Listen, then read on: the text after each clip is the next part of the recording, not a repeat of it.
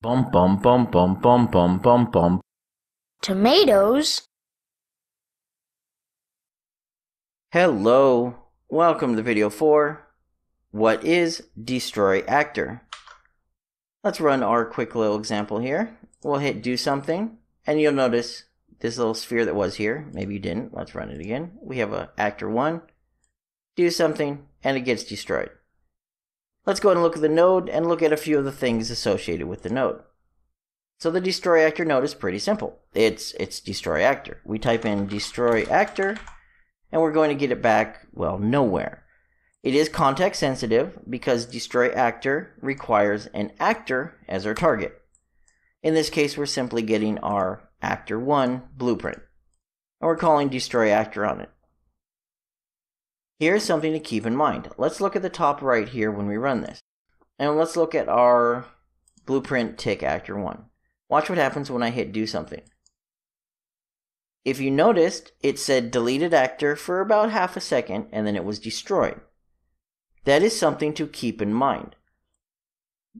With the way destroy actor works, basically when you call it, it's not immediately destroyed it doesn't get removed from the scene. It doesn't get removed from the player. Well, technically, it removes from the actor list that is kept internally, but it's not removed immediately. So if you were to destroy something and then immediately try to do something on it, it may still work.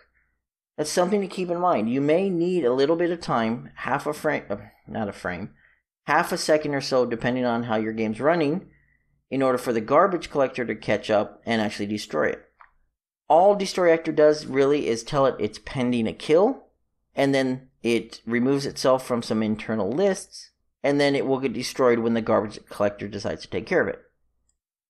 So if we look at that again, pay attention to where it says BP tick actor 1 here. When I hit do something, it's going to change into deleted actor, and then it will get disappeared. So that is something to keep in mind. Destroying an actor does not immediately remove it, technically you could still try to do something on this right after I destroy it. Usually you'll get an error such as actor is pending kill and it's going to give you it's going to give you an error and it's going to cause a problem. So you can always make sure that it's a valid like for example if we did it valid right here.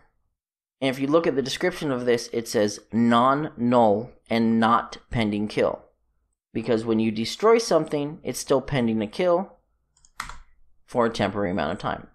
So that's it. Our destroy actor node simply destroys things. It will eventually get removed from our list and it will eventually disappear, get garbage collected, and it's gone. But the caveat is it is not removed immediately. You need to make sure you pay attention to that. Don't try to run something on something you destroy. Don't try to refill that spot. If you destroyed it, give it a time. It may not happen that same frame, it may happen a few frames later. That's going to wrap up the destroy actor node. It's used to destroy actors. This is how you get rid of things when you're done with them.